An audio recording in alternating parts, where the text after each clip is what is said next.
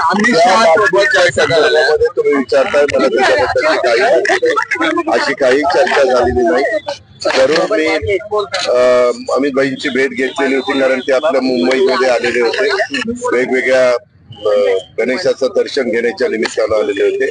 आणि आता बाकीच्या सगळ्या गोष्टी आहेत. उदाहरणार्थ सध्या राज्यामध्ये कापूस प्रश्न सोयाबीन प्रश्न कांदा निर्यात बंदी ही आपल्याला ठेवायचीच निर्यात बंदी होऊन द्यायची म्हणजे निर्यात बंदी होऊन द्यायची नाही.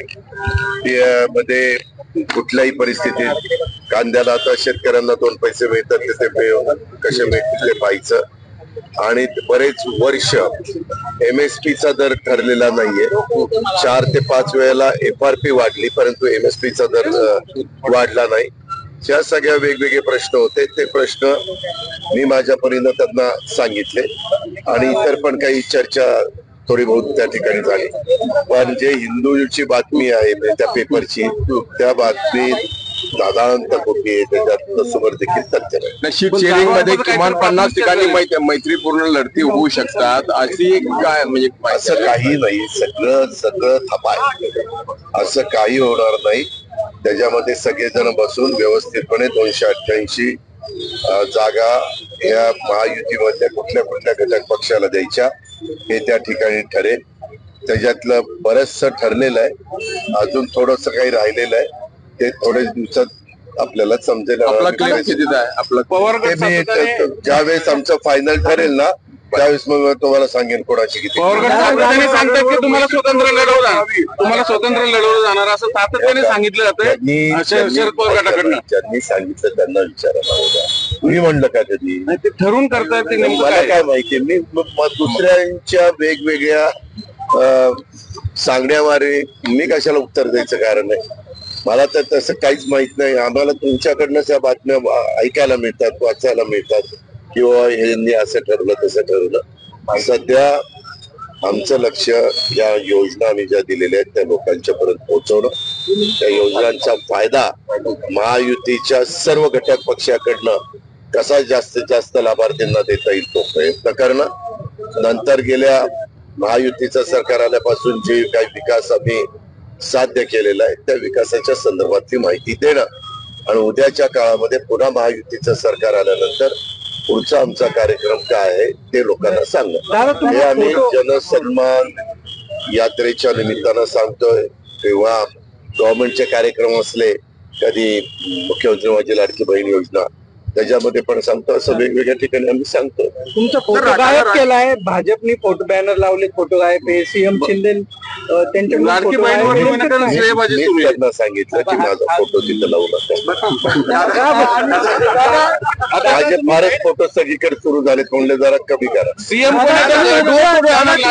लाडकी बहीण बाबा. ही लाडकी बहीण योजना महायुती सरकारने आणलेली योजना आहे. त्याच्यामुळे ही महायुती सरकारची योजना म्हणल्यावर वेगवेगळे घटक पक्ष आपल्या परिंद पण मांडण्याचा प्रयत्न करणार आणि आम्ही महायुती म्हणून आम्ही पण सगळे मांडण्याचा तुमची कोणी नावं ठरलीत का? कारण मध्ये ठरलेली नाहीत. मध्ये तुम्ही जे काही टीव्हीला किंवा पेपरला मी इलेक्ट्रॉनिक प्रिंट मीडियाला बघितलं. त्याच्यात कुठलंही नाव ठरलेलं नाही. मलाच आपलं ऐकायला मिळालं वाचायला मिळालं.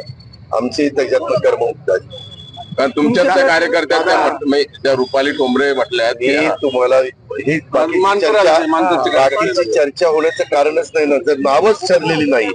जी बातमी होती ती बातमी चुकीच्या पद्धतीनं पसरवली गेलेली होती.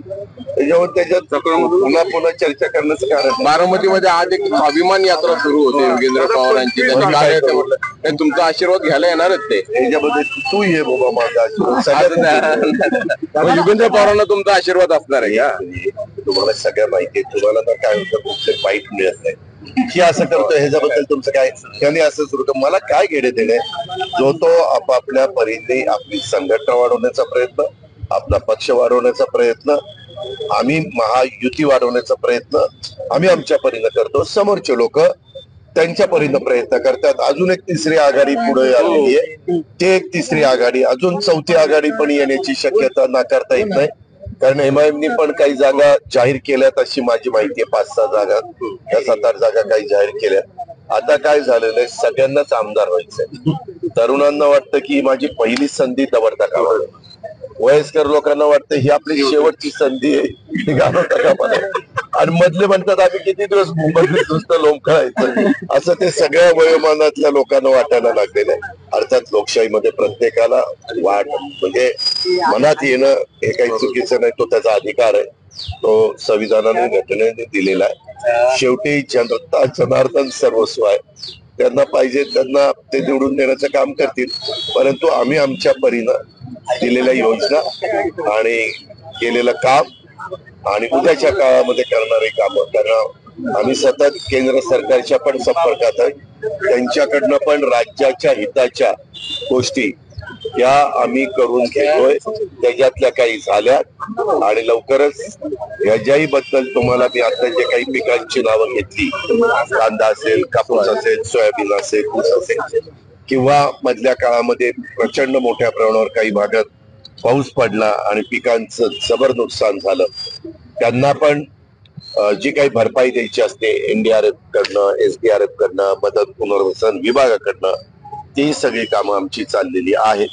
आणि त्या पद्धतीनं अडचणीतल्या शेतकऱ्याला पण त्यांच्या झालेल्या नुकसानीचे पंचनामे करून जे काही मदत दिली गेली पाहिजे. ती देण्याच्या बद्दल आम्ही सगळेजण आता काल. अमित शहाच्या बैठकीत हे देखील झालं की पंचवीस ठिकाणी राज्यामध्ये मैत्रीपूर्वक लढत असावी. कारण महायुतीतील वेगवेगळे पक्ष म्हणजे तिन्ही दावा करतायत की आम्ही सुद्धा उदाहरण अमरावती इंदापूर म्हणजे तुमच्याकडून बी दावा होतोय तिकडून दावा होतोय. त्यामध्ये तुमच्याकडनंच ही माहिती मला ऐकायला मिळाली.